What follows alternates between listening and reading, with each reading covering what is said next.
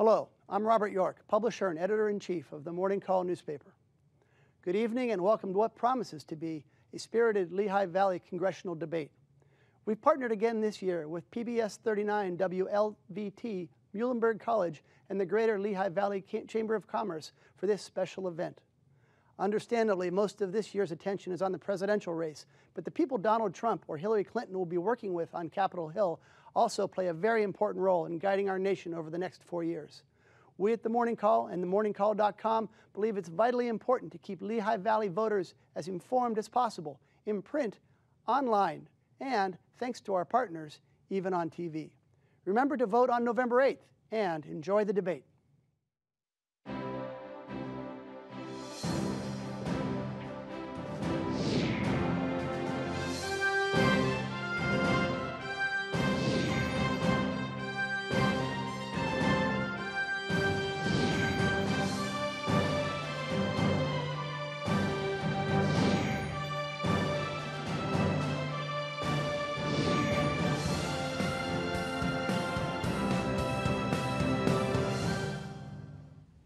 Welcome, everyone, to the PPL Public Media Center at PBS 39, located at Steel Stacks in Bethlehem, and our 17th District Congressional Candidate Debate.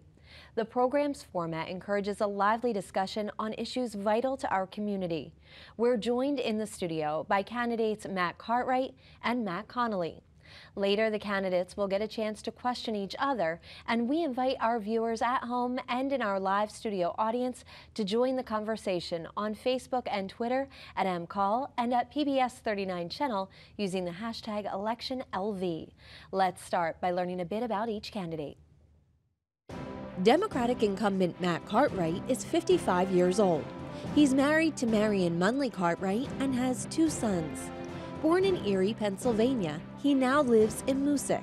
Cartwright graduated from Hamilton College with a Bachelor of Arts in History in 1983 and earned his law degree from University of Pennsylvania's Law School in 1986.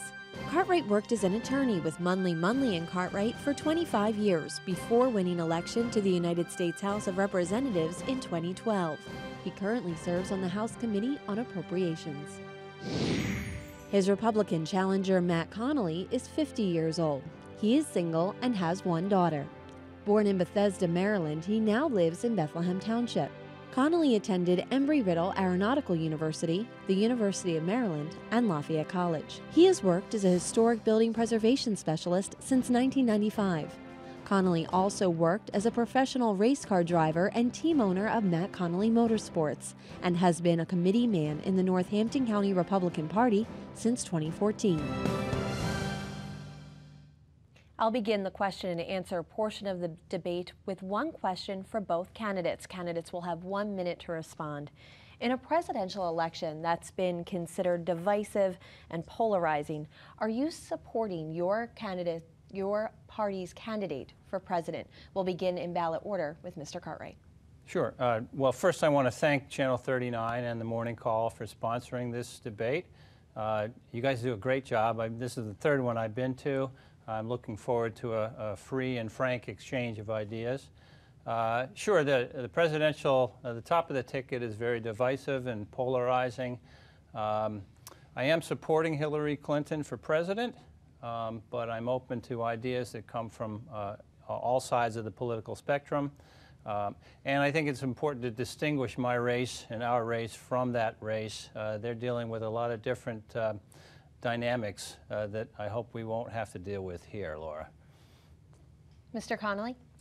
Oh, I am, I am definitely supporting Donald Trump, 100%. I think it's become exceedingly clear that only an insider can solve the problems in Washington excuse me, only an outsider. My gosh, we got too many insiders in there because if an insider could have done it, it would have been solved already. Um, not every candidate is perfect, and we're certainly seeing that. Uh, however, I think a man who understands business, who has dealt on multiple sides of government and how it, it gets involved with businesses and personal lives, is the kind of guy we need who has never held office before. He is not poll driven. That's the kind of president who I think will not really be so political, but will be more acting in the best interests of America. And that's what we need right now. Thank you both for your responses. Now let's begin the traditional Q&A segment of our debate. Our panelists are Laura Olson, the Morning Call's Washington correspondent, and Dr. Chris Borick, a professor of political science and director of the Institute on Public Opinion at Muhlenberg College in Allentown. Each candidate has one minute to respond to each question. Rebuttal time may be given at the discretion of the questioner, who also may ask a follow-up. We'll follow ballot order to start. Laura, your first question is for Mr. Cartwright. The Obamacare health care law has hit snags as private insurers have dropped out of exchanges in some states and amid reports that premiums have risen. What changes to that law, if any, would you support? Sure. Uh, Laura, as you know, I've been a supporter of that law. Uh, I knew it was going to be painful, a rocky road. Uh, there have been very painful moments, like when the, the computer system shut down. Um, when uh, uh, anticipated future premium hikes, hikes were talked about, uh, those really didn't happen. Uh, what happened was um, so many people are covered by employer-sponsored plans, so many people are covered by Medicare and Medicaid, uh, and so many people get, uh, get tax rebates with their Obamacare plan. by and large, I think it's been pretty smooth given kind of the dangers that we faced. Uh, I'm still fully in support of uh, people with pre-existing conditions not being able to be uh, aced out of coverage, uh, no lifetime limit, uh, no penalty for being a woman for having health care coverage. I'm for all of that. But in, in, terms of changes in the future, I've said we're going to be tinkering with that for as long as I'm in Congress. And one thing I'd like to see is more competition, perhaps uh, spurred on by a public option. Mr. Connolly, your response? Well, I guess we're going to see the first thing we completely disagree about. I think the Affordable Care Act, known as Obamacare, has been an absolute disaster. I think it was partially designed to fail because, as the president said 15 years ago, he wants a single payer system. He doesn't like insurance companies. He doesn't think that they're fair. If you want to have a healthcare system that is truly affordable, you have to bring back competition. Every aspect of Obamacare has failed. They said it was going to reduced premiums by $2,500. It has gone up more than that. You don't even have insurance in a lot of ways. You only have the illusion of insurance. Because when your deductible is $8,000 and your premium is $500 a month, you have to spend $10,000, $12,000 a year before you see any benefit from the Affordable Care Act. Then when you take on the fact that they put limits on what age you can receive uh, cancer treatments, it is, it is not something that is ever designed to succeed. It can't be. It's got to be completely repealed and replaced with something that's com competition based and takes the government out of the doctor patient relationship. Chris, your first question is from Mr. Connolly. Uh, good evening, Mr. Connolly. Good evening, sir. The refugee situation caused by the war in Syria continues to worsen with millions of refugees displaced by the conflict. What role, if any, should the United States play in addressing this, uh, this refugee crisis? Well, the key part to your question was if any. The Syrian refugee crisis is caused by unrest in that country. They are in a problem because of the way the government has oppressed them, and they want to leave. It's unsafe. Now, I don't believe the answer is to bring them to the United States. I believe we should create a, a safe area for them so once the conflict is resolved in Syria, they can return those who come to this country as refugees should come because they want to be Americans. They want to love our country, they want to assimilate. Not they want to be displaced peoples from another country that now have a place to live. That's not what their goals are, and that's not going to make them happy. It's much safer for us as a nation to keep those people in Syria, protect them from harm until that country's internal turmoil is completely resolved. Then they can return to their lives, and that's, that's what everyone really wants, I believe. Congress? Chris, I, I think uh, the answer is in striking a proper balance. Uh, I want, above all, to continue our nation's reputation in the world as being a nation full of decency and compassion. Um, but you have to strike a, a, a, correct balance. I was over in Germany. I actually had a meeting with uh, uh Chancellor uh, Angela Merkel. Uh, she has really gone way overboard, admitting refugees into Germany, and it's causing problems there. Um, I think there, there's too much and there's too little. I think uh, uh, right now we're talking about 10,000 in the United States. It's a drop in a bucket. I think we can do a little more. uh, but I think going as far as what Germany did would be problematic. Laura, your second question is from Mr. Connolly.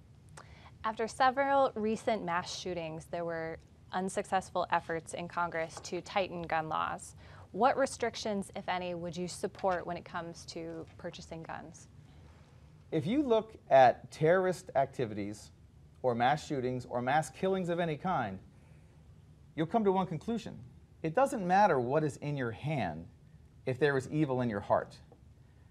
The guy in Nice, France, who drove the terrorist who killed those 100 people used a truck. The biggest mass murder in a school was Bath, Michigan, 1940s. He did it with a bomb. He killed 55 people. To demonize an inanimate object like a gun is a mistake. The gun was the tool. In Europe, sometimes there are knife killings. If there is evil in your heart, it doesn't matter what's in your hand. It's such an obvious statement.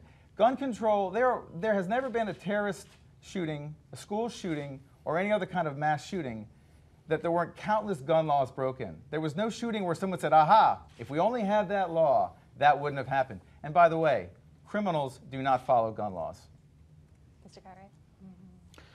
Laura, I'm, I'm in, it's no secret that I'm in favor of uh, sensible gun uh, safety laws. I think that, uh, uh you know, reasonable, sensible things like um, taking uh, guns away from people on the terrorist watch list. And I don't even mean taking them away. I mean no fly, no buy. If the FBI has decided that uh, this person is too dangerous even to board a commercial airliner, I think it's reasonable to suggest that there's a problem selling that same person uh, a firearm in this country. Uh, so that's why we call it no fly, no buy legislation. Uh, I support that. I also support uh, closing gun show loopholes. Uh, I think responsible gun dealers already uh, conduct background checks on the people that they sell guns to, and that's also true of, of gun sellers uh, at gun shows. But not all of them do, and I think that a responsible reaction would be to have uh, close that loophole for the gun shows. Chris, we're back to Mr. Cartwright for your second question. Congressman Cartwright, the nation's transportation infrastructure continues to struggle with deteriorating conditions.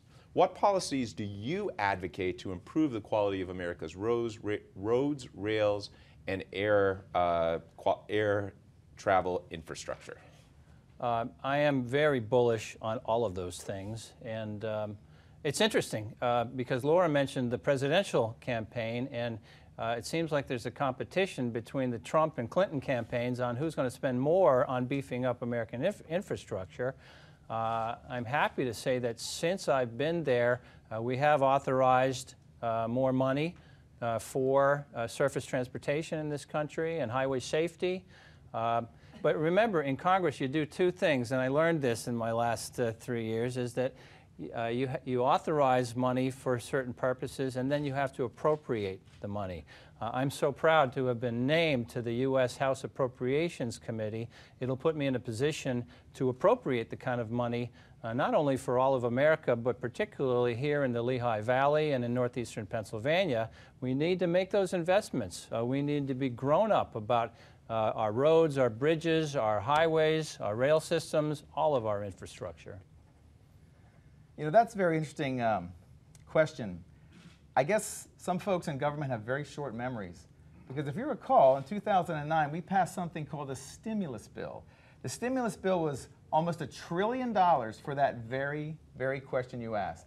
It was for roads, bridges, highways, airports. Remember the line about shovel-ready jobs? And then the joke afterwards, I guess they weren't so shovel-ready? Well, that's kind of a problem when it comes to government. It seems like everyone's forgotten that we have now passed a $868 billion debt to our kids and grandkids and everyone else for something that apparently had no effect. I don't remember the big touting successes of the stimulus bill. And yet now they're bringing up, we need to spend more. Well, what happened to the accountability from the first time? Where did the money go? That, that's why we're $20 trillion in debt. We can take care of things as needed, but when you're throwing good money after bad, people have to be held accountable. And I don't recall anyone being fired over the lack of transparency with that money. That's what people should be upset about. Could I ask a quick reply? Mr. Connolly, so am I to assume that you would not be in favor of greater investments in infrastructure at this point? I'm in favor of an investment in infrastructure because we clearly need it. What I am not in favor of is the way we did it in the past, where the money never got there. Laura, your third question goes to Mr. Cartwright. As we're talking about spending, Congress was once again uh, staring down another funding deadline the other week and passed a bill with just days to spare. Uh, what specific ways would you propose to break this cycle of lurching from funding crisis to funding crisis? Sure. Uh, I touched on it earlier. I, am so proud. I've worked very hard uh, to get on the, the, U.S. House Appropriations Committee, uh, and that's how we handle the, the spending to fund the government. Remember, Congress's essential role is to levy taxes and spend. And most of what we argue over in the Congress is how much to tax and how much to spend, who to tax, and how much to tax them, and, and where to spend the money. Uh, on the Appropriations Committee, I will have a central role in that. Um, and what I want to do is work with Republicans. I, have had uh, some success working with Republicans. I actually passed my own bill this year working with Republicans. Um, and um, working together, we can go back to the normal appropriations process and stop this uh, continuing resolution stuff that happens, as you mentioned, on, on every deadline. They wait until the last minute and then they do a continuing resolution and they say, well, whatever we've been spending so far, we'll do that again until December. That's the answer. Mr. Connolly? Well, it's interesting. The continuing resolution problem is really due to a lack of leadership. We've had, we haven't had a, a budget, a proper budget. I think we've had one or two in the last uh, eight years. And that's because they can't agree. Every, every budget President Obama has submitted has gotten zero votes. I don't believe even Mr. Cartwright has voted for an Obama budget. So with that kind of gridlock and the fact that we don't have a balanced budget amendment, this is what's going to happen. And what's so interesting is there's never any savings. There's never any cuts. It's always more spending after more spending after more spending. And at some point, we're going to run out of other people's money or we're going to devalue our own currency.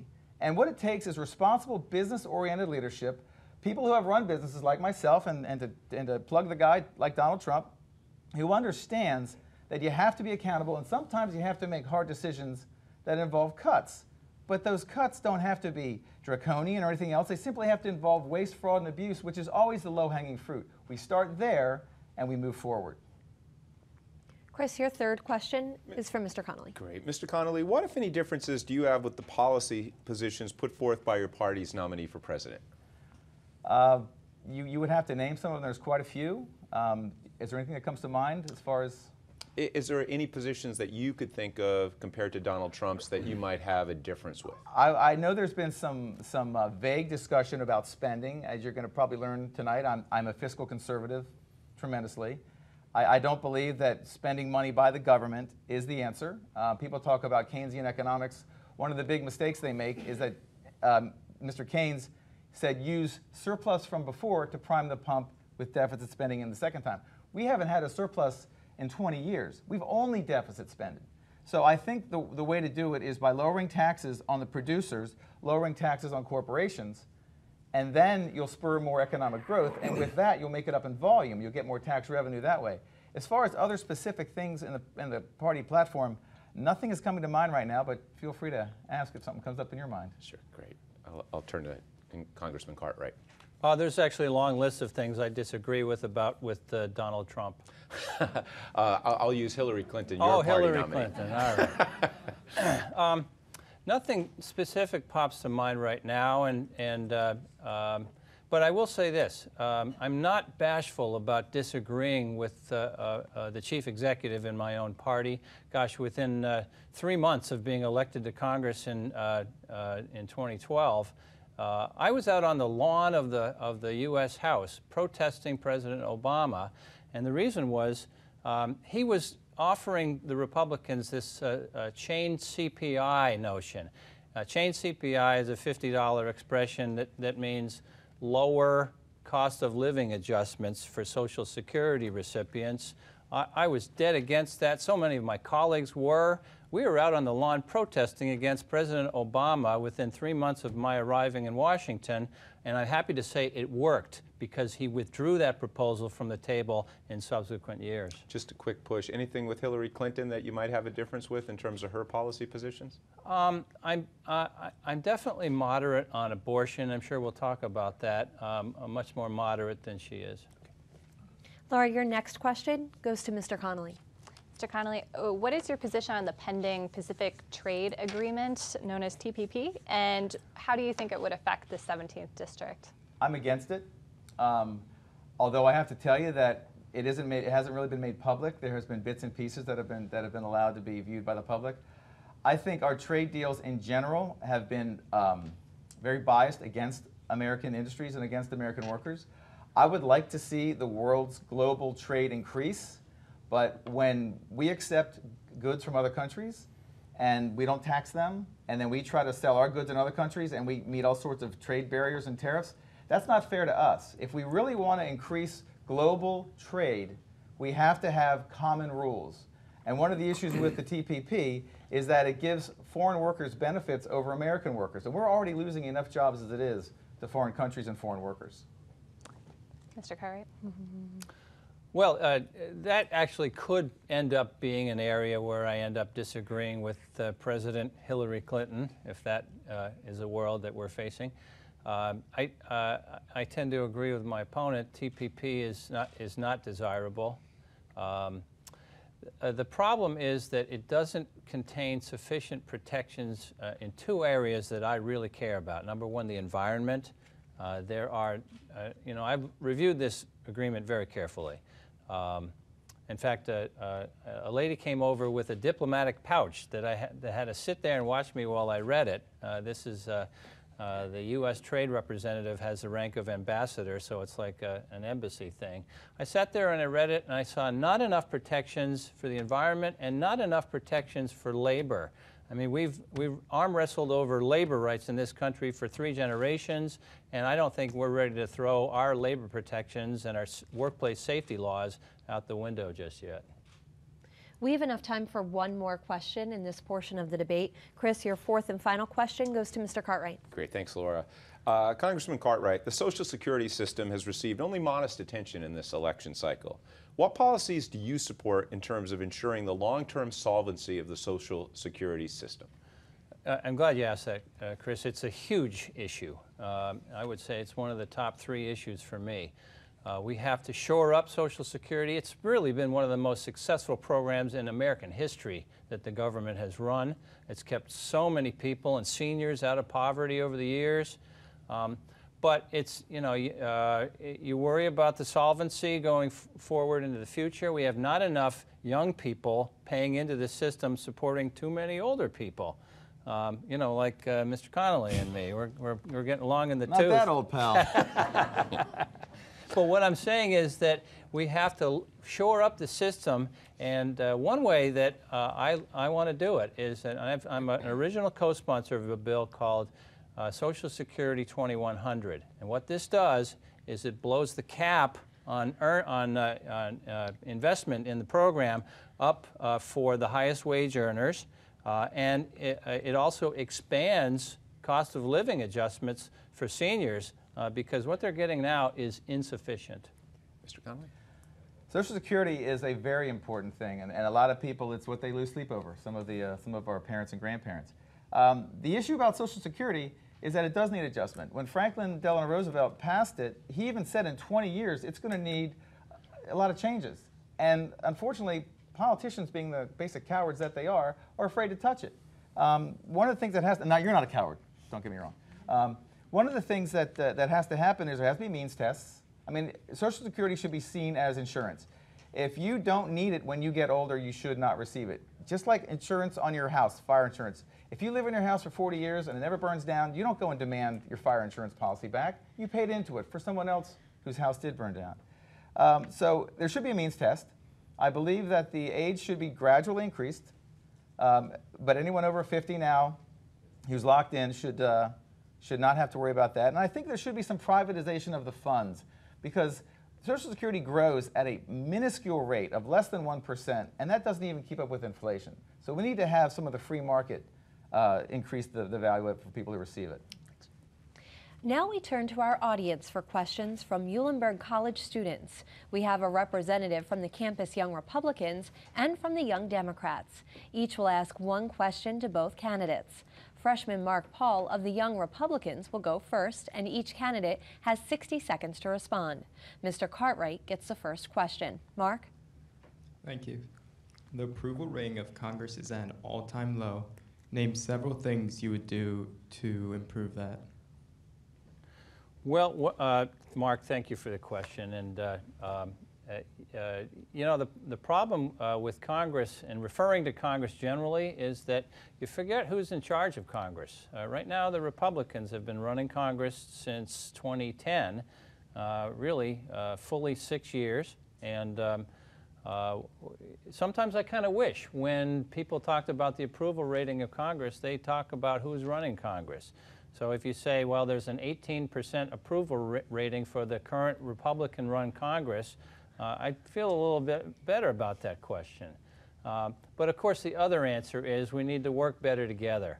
Uh, I do this. I'm proud to say that I have formed friendships uh, with many, many Republicans. You have to. I mean, they are in charge. They get to decide what votes come up uh, to, for people to vote on, what bills get, uh, get pushed.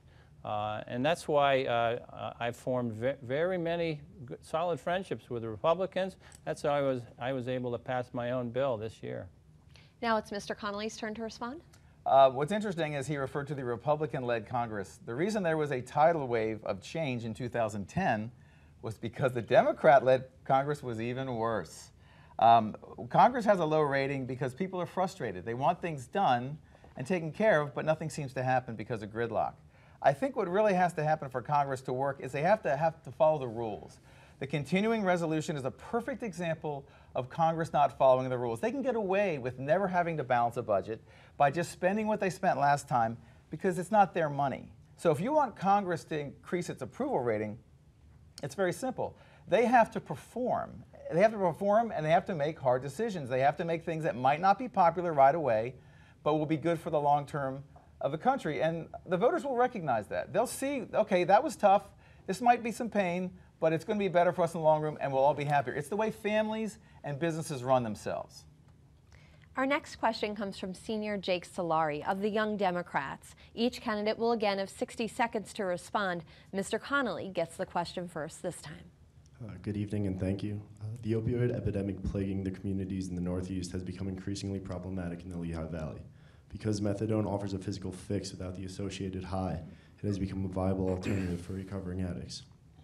However, the current system forces patients to visit daily clinics and receive their dosage, and many of these clinics are so inaccessible to some that daily visits impede on their ability to maintain a full-time job and perform other daily functions. Do you have a plan to make these treatments more accessible? Or, if not, what other treatment alternatives do you propose, and how will they be made accessible to patients? Well, you're, addressing that question is, is a secret that has to come out. Uh, I've attended many things in Scranton, some of the heroin awareness. It, it is a tragedy. In Schuylkill County alone this year, I think over 60 people have died from heroin overdoses. Uh, we have to look at why that's happening, first of all. Before we solve the problem, we have to look at the root of the problem. Uh, part of the uh, changes in the government's laws about health care is that they use pain as a vital sign. And then they rate doctors. So doctors want to prescribe pain meds to make sure they get a high rating. The problem is they're turning regular folks into addicts. Once the prescription runs out, they need to find something to, for that fix, so to speak, and they often turn to illegal drugs. Um, your question specifically about methadone, it, it does fill the void, but it, I'm wondering if they were to have it unregulated and be able to self-medicate with that, would that cause its own problem? Um, I think if we attack the problem with the root of the opiate situation, we're going to find the methadone problem isn't going to be as prominent. But I don't have a specific solution to methadone because honestly, I don't know what, what the aspect of it, you know, how it could be used or, or abused. Mr. Cartwright? Uh, Jake, thank you for your question. Um, yeah, I, I actually conducted a town hall in Schuylkill County uh, about uh, five months ago. Uh, and, uh, you know, usually we have, for town halls, we get 30, maybe 40 people that come out. And I thought, uh, wow, in, in Coaldale, I don't know how many people are going to come out for a town hall. Uh, Jake, uh, we had over 100 people come out to that town hall, and people from all walks of life. And, and that's an important thing to note, is that opioid uh, addiction occurs on both sides of the tracks, at all stratuses of, of life, uh, to people in all walks of life. Um, and uh, so what's the answer?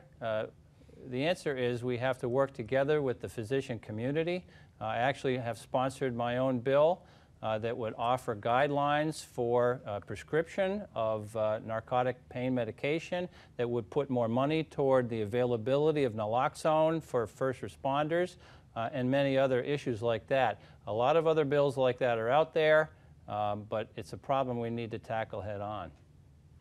We stay with our audience for one more question. This one comes from Danielle Bodner, Government Affairs Administrator at the Greater Lehigh Valley Chamber of Commerce. Each candidate will again have 60 seconds to answer. Danielle, Mr. Connolly will have the first question. Good evening, gentlemen. One of the top concerns our chamber members are forced to focus on a daily basis is workforce development issues. Employers often comment that they are faced with not finding the right talent pool of job seekers who are prepared and ready for employment. The Chamber works with our Lehigh Valley Workforce Development Board on addressing these issues at a local level, but what do you feel is Congress's role on solving these workforce issue problems? Well, it's interesting. With the unemployment rate that we have, you would think that uh, people would be swarming for these jobs. I think what we've kind of drifted away from, we've drifted away from the technical aspect of work. Uh, a welder makes more money than a philosopher does, and we need a lot of them. Uh, I, for a long time, I made my living as an auto mechanic, and currently as a contractor. I plumbing, heating, electric, that sort of thing. I put ads for people, and I do have problems getting good helpers. Um, it's not sexy. It's, uh, it's one of those things that uh, people would rather do something on computers or, or something else entirely. So really what it comes down to, I think at the high school level, we should be emphasizing more skilled trades. I mean, that's what built America. That's what really made this country the powerhouse that it is. But those trades are dying, and if we don't replenish them, we're going to have an issue. And I think that's what the chamber is looking at. They're looking at skilled people in various areas who can, who can fill these roles. And it is a rewarding way to make a solid middle class living, which helps buoy the entire of America. Mr. Cartwright? Uh, well, Danielle, thank you for your question. Uh, sure, uh, that's a place where government can have a real impact on the economy. Uh, if you take uh, Lackawanna College in Scranton, uh, Lackawanna College has tooled itself to train people to go to work in, in the hydrofracking industry. Right now, they have a placement record of about 98% people graduating from Lackawanna College um, and going to work in the hydrofracking business uh, and the average starting salary is, is over $60,000. So this is an area that really pays. And so uh, one of the things that I really support about uh, uh, Secretary Clinton's campaign is that she wants to pump a lot of money into the former coal regions uh, because, you know, you have these upheavals. Uh, economic change creases people. People are, are, are trained for one thing and that's not around anymore. They have to learn how to do something else. That's how we can put government money to good use to retrain people. Thank you, Danielle. Now it's time for our candidates to question each other, and we'd like questions here as opposed to speeches. Each is allowed up to six questions. Again, responses will be limited to one minute, and you may have up to six questions each. We'll begin with Mr. Cartwright, and you'll have the first question directed to Mr. Connolly. Thanks, Laura. Uh, uh, Matt, I, I, was, I, was, just mentioning the hydrofracking industry. Uh, what's your position about whether uh, we should continue the ban on hydrofracking in the Delaware uh, River water basin? I would be opposed to that ban. Okay. Um, should I elaborate? I'd love to. I think you get 60 seconds, okay, right? Okay, there we go. You may have up to 60 um, seconds. Well, we're new at this. So um, the hydrofracking, I've, I've talked to a number of experts in the industry. It is a very safe process. Uh, you're talking about boring down 10,000 feet, which is well below any river basin. You've got multiple layers of steel and concrete for safety. And what's more important is that you're giving this nation, and specifically this state, a very valuable natural resource uh, that, that lowers the cost for everybody because one of the most important things in a developed nation is affordable, reliable, consistent energy. That's what will free us from dependent on foreign governments, and that's what's, uh, that's what's going to really make America strong. Mr. Connolly, your first question for Mr. Cartwright. Okay. InsideGov.com is a well respected nonpartisan data organization that tracks every member of Congress, their votes, bills, stances, ratings, and other pertinent information. In the four years you've been in office, you have proposed 111 bills and had only one signed into law. You have an effective ratingness of less than 1%. There is no member of Congress rated lower than you are. How do you justify running for reelection? Uh, actually, the truth is, I have passed four bills. They don't all, they're not all standalone bills. It's very rare that a member of Congress can pass a standalone bill. Uh, I, was, I was thrilled to do that this year. Uh, Steve Russell, a Republican from Oklahoma City, and I got together and we passed the Megabyte Act. Uh, the federal government buys software like everybody else, licenses at a time, and what happened was uh, we realized that the federal government's not using its purchasing power to buy software. Uh, my bill, which passed into law, President Obama signed it on July 29th, will save taxpayers in this country between one and four billion dollars every year going forward. So I'm very proud of that. Uh, I can't speak to how, what ratings uh, websites uh, models are, but I can tell you if you go on uh, govtrack.us and you look at me, I'm rated number two out of 180 Democrats. I'm rated number two in effectiveness as, as being a legislator. Well, the, the average uh, effectiveness rating is 12%. Mr. Cartwright, your next question for Mr. Connolly. Sure. Uh, Matt, do you think the, uh, the FAST Act goes far enough? Could you please explain what the FAST Act is? Okay, uh, the FAST Act is the Fixing America's Surface Transportation Act, and what that does is it puts $305 billion into American infrastructure, roads, bridges, making highways safer. Uh, what we did was we, uh, uh we authorized $305 billion over the next five years to go into those things. Do you think that went far enough? It goes back to the initial discussion about infrastructure. We've already done a stimulus years ago of, nine, of $868 billion that doesn't seem to have fixed anything. When government continues to require new and new spending bills to fix the same problem over and over again, you have to question what, what's really going on beneath it. So I would say that with all these multiple infrastructure bills, did the FAST Act go far enough? Uh, it depends on if it's actually going to get implemented because they don't ever seem to get implemented. They seem to be a great, great thing to pass, and then everyone forgets about it. And then next election cycle, we need more infrastructure spending. So I think we need a, a comprehensive review of what we need and what's been spent, and then we'll make a decision. Mr. Connolly, your next question for Mr. Cartwright. It's exceedingly clear that Washington is full of corruption. How do you expect us to believe that you are not part of the corruption when your net worth has more than tripled since you became a member of Congress from one and a half million to over five million dollars. How do you make that kind of money as a congressman? Um, actually, that's not true. Um, I have not.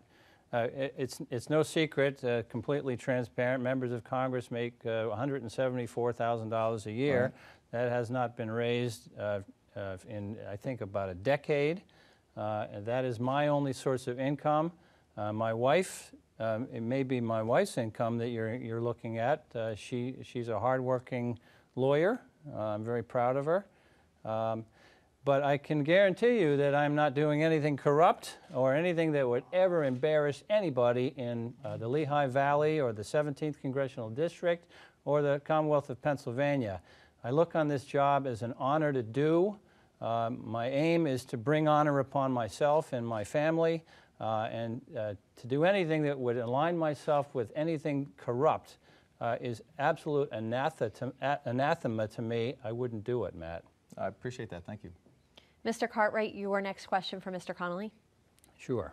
Uh, Matt, you like to talk about uh, cutting federal spending. I'm proud of my work to increase federal spending here at home because it stimulates our local economy here in the Lehigh Valley in northeastern Pennsylvania, and it creates jobs. Uh, over $400 million in federal awards, grants, and contracts have come in during my tenure in the Congress. Uh, and getting on the Appropriations Committee, which I worked very hard to do, will only assist me in doing more of that, and I intend to do that for the Lehigh Valley. Uh, would you do the same thing? Well, it's funny you mentioned that you're proud of the money you brought in. The question is, where does it come from? It comes from other taxpayers, it comes from other states. Uh, we do not have an infinite supply of money. What we have to do is work on being more efficient as a government. I think if we were to lower taxes and allow businesses to spend more of their own money, if we were to give more control to the states and let state and local government be more in control, they should be the ones who are in charge of, of what gets done in their state. Our, our job in the federal government is to keep us safe from foreigners, invasion wise, to enforce civil contracts, and to uphold people's civil rights. I think the federal government has gotten so big and everyone's so proud of how much money they bring, they're forgetting where it comes from. It comes from basically from our children and grandchildren. That's a problem. We have to get spending under control, not just say there's more of it is better, because at some point you got to pay that bill. Mr. Connolly, your next question for Mr. Cartwright. You have said on the Storm Show hosted by Tiffany Cloud that terrorism and global warming are inextricably linked. Are you trying to tell us that a slight change in temperature has caused the rise of radical Islamists and made them behead, burn, and drown innocent victims? Well, I think there's definitely a link there. I, I think I remember saying that, and I believe it to be true. Uh, we go back to something called the Arab Spring. And you remember that was when a lot of uh, radicalism was spurred in, in uh, Egypt uh, and uh, in, in, other places in North Africa. Um, what happened was uh, there wasn't, it, was a drought. People didn't have enough to eat. And it doesn't really take a rocket scientist, Matt, to realize that when people don't have enough to eat, they're angry, they're hurting, uh, and they're ready to reach out uh, for radical solutions when they're dangled in front of them. Uh, so, what we know is that climate change is having an effect on these areas, and it's only going to get worse. it's, it's not for us it doesn't behoove us to bury our heads in the sand uh, and not worry about climate change when climate change can cause upheavals all over the world uh, that, in, in fact, can lead to uh, unrest of the type that leads to Islamic terrorism.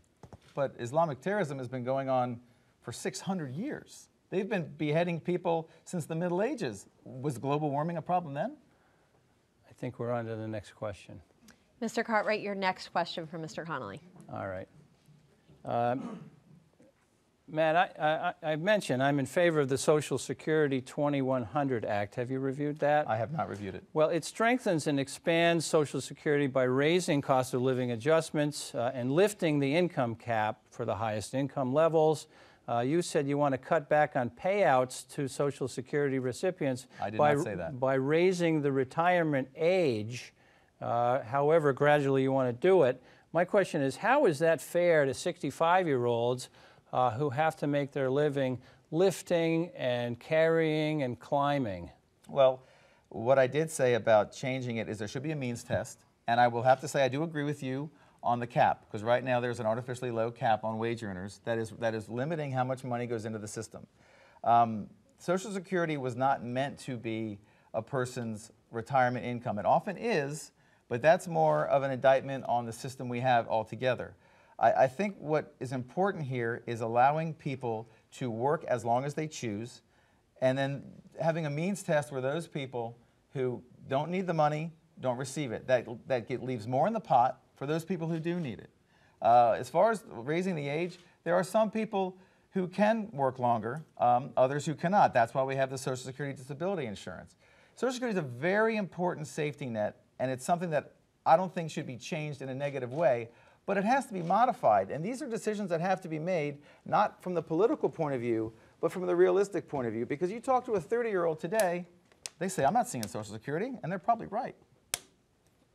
Mr. Connolly, your next question is for Mr. Cartwright again. In 2013, you proposed the Safe Haul Act, which was designed to raise the amount of insurance truckers have from $750,000 in liability to 4.4 million. This will increase their insurance premiums by double digits. Can you tell me how this helps the truckers or their families? Or was this just an attempt to increase the amount of money, available for your fellow trial lawyers to tap into since, after all, they are your biggest donors? Well, uh, I am very proud of my efforts to, uh, to get the federal government to raise the insurance requirements for tractor trailers. Right now, tractor trailers are allowed to drive around with as little as $750,000 in liability insurance. Uh, and the problem is not the responsible truckers. There are a lot of, the great majority are responsible and safe truckers. It's the ones who are not safe that you worry about because of the harm they can do. I mean, they, they, they can, uh, they, can, they can do many millions of dollars of damage uh, to people just in terms of medical bills. Uh, raising the insurance requirements will force everybody, will force through the private uh, enterprise system, it'll force insurance companies to, uh, to look at, uh, at trucking companies with a jaundiced eye and say, are, are you being careful? If you're not being careful, we're going to raise your rates. Uh, that's the, the, the, the free market system at work making Americans safe. Mr. Cartwright, we have time for at least one more question to Mr. Connolly, possibly, possibly two. All right. um, Matt, I'm for middle class tax relief, uh, but public, public records show that you have failed to pay your federal taxes for some time now. You still have a federal tax lien for just under $50,000 uh, for tax years 2007 and 2008. Uh, many Americans work hard to struggle and make ends meet uh, work hard and play by the rules, um, but they don't make excuses. They pay their taxes. Don't they deserve a congressman who doesn't make excuses but goes ahead and pays his taxes? Well, I believe that you should pay taxes on every penny you earn, and I have paid taxes on every penny I've earned. That federal tax lien is due to the IRS, which is the biggest bully in the free world. That was due to an audit that occurred in 2010 they said that because I took a second mortgage on a property, never got a penny for it because the building owner went, uh, went bankrupt and got foreclosed on, that I still had to pay taxes on that money that I never received. I then asked them, could I deduct that $75,000 from income the next year? And they said, oh no, you can deduct 3000 a year for the next 25 years. So at that point I realized, although I could have paid the taxes, I'm a fighter. I don't like it when the government bullies around. And I don't like the fact that they can throw a lien on something without due process. There was never a trial, it was simply their decision. You talk about tax reform, we need tax reform. The IRS people who target those uh, people based on their political ideology, they get off scot free. We need tax reform. I pay my taxes. Mr. Connolly, at least one more question for okay. Mr. Cartwright. You claim to be pro life, yet you voted against the Fetal Pain Act against defunding Planned Parenthood, and you even have a 100% positive rating from Planned Parenthood. How can you claim to be pro life when every vote you cast is for abortion and the abortion groups consider you a strong ally? Well, that's not quite correct. Uh, I don't like abortion, um, and I don't like the labels that people throw around. I, uh, I consider myself a moderate on the question. Uh, we have something in this country called the Hyde Amendment, and the Hyde Amendment um, re uh, requires that uh, federal tax money is not paid uh, to, to buy abortions. Uh, and uh, that came up for a vote this year. I voted against the measure that would have eliminated the Hyde Amendment, so I'm, I'm supporting that. Um, I, I, I, voted against the, the Pain Capable Act because it did not make an exception for uh, incest victims that are uh, uh, over 18 years old. Um, personally, uh, I don't like abortions. I'm against them, but I make exceptions for rape, incest, all incest victims, uh, and the life and health of the mother. And that is my moderate position on abortion. Thank you both. We are out of time for this segment, uh, and we will move on now to our final question of the night, which comes from Laura Olson. It will be directed to both candidates, and each candidate will have 45 seconds to respond. Mr. Connolly will answer first, then we'll hear from Mr. Cartwright. After a contentious presidential race, the next Congress will get to work with a new administration. In what ways would you be willing and able to work with that administration if it's uh, made up of the opposite political party? Well, we can certainly hope that it's not made up of the opposite political party. Um, you have to look at how you work with folks. If they really have the true values for the country and it's not a political agenda, working across the aisle should be simple.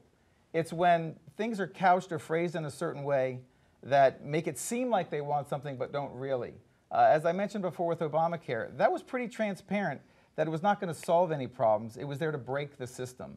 I'm concerned when any party has, has, a, has a view on something they put out publicly, but their agenda is something different. And I think that's where it's going to take some people who have the guts to make non political decisions and act on them in order to do the right thing. Because we're all Americans, we're all in this together. We just have to realize that the good of the country should come first. Mr. Cartwright? Is the question, how would I work with President Trump? That's the, that's the question. Okay. um, well, uh, uh, I, I, guess I, I, I, should say that um, it's hard to say because uh, he's kind of um, uh, changed his positions on, on certain things. I, I, I, mentioned earlier that one thing that I kind of find encouraging about Donald Trump is that he wants to spend more on infrastructure than Hillary Clinton, uh, uh, which, uh, so th they may be in like a, a little competition about who's going to spend more on infrastructure. That's music to my ears. Um, so if, uh, if Donald Trump wants to do that, uh, I'll probably find myself in his camp. Our last piece of business tonight is a one-minute closing statement from each candidate. We'll give the challenger the last word and start with Mr. Cartwright. Thanks, Laura, and, thanks everybody for, for tuning in uh, for this debate. Uh, I enjoy the, the discussion, and uh, you mix it up a little bit, but that's what uh, democracy is like. Uh, it's messy. Um, sometimes it isn't clean, but this is what we have, and this is the best system in the world, our democracy. It's been a real honor for me to represent the 17th Congressional District for almost the last four years now. It was my first time running for office uh, for anything. Uh, I wasn't completely sure what to expect, uh, but I have worked hard at it. I'm so proud uh, that I've been appointed to the House Appropriations Committee. I did that through nothing but hard work and attention to detail. Uh, I intend to further the, the most important issues to me, jobs in the economy, taking care of our veterans, uh, our active duty armed services, worrying about things like Zika or the opioid crisis, uh, public health problems like that. Uh, I will continue to work hard for you as long as you keep me in office. Thank Mr. you. Mr. Connolly, we now have one minute for your closing statement. Well, thank you. This has been a real honor and a real pleasure. I think we've seen that there are two very clear choices on display tonight. The incumbent is happy to defend things as they are and even endorses Hillary Clinton for president, who has the same stale ideas that didn't work when Obama tried them. In fact, I'm not even running against my opponent. I'm running for the people of the 17th District and for all Americans. For the values that got this country to be the envy of the world, where anyone could grow up to be anything he or she wanted to be. I'm running for the dignity that comes with getting people off of welfare and earning a living. that's what comes when people, excuse me, that's what brings down crime rates and boosts the economy. People working for a living and knowing the future is in their hands, not in some bureaucrats. It's these values that made the rest of the world respect us, kept rogue nations at bay, and helped free countries that were ready to taste liberty. The idea that America the Beautiful isn't old or worn out or even slightly less hip. It's as relevant today as it ever was. We just need the people in Washington to recognize that and to give us that freedom back to us, to we the people. Thank you. That concludes our 17th District Congressional Candidate Debate. PBS 39 would like to thank the candidates for participating, our panelists Laura Olson and Dr. Chris Borick, and our partners, The oh, Morning Call, Muhlenberg College, and the Greater Lehigh Valley Chamber of Commerce. Please join us on Tuesday, October 11th at 7 p.m. for our 15th District Congressional Candidate Debate featuring incumbent Republican Charlie Dent, Democrat Rick Daugherty, and Libertarian candidate Paul Rizzo. The deadline to register to vote is October 11th and Election Day is November 8th. Thank you.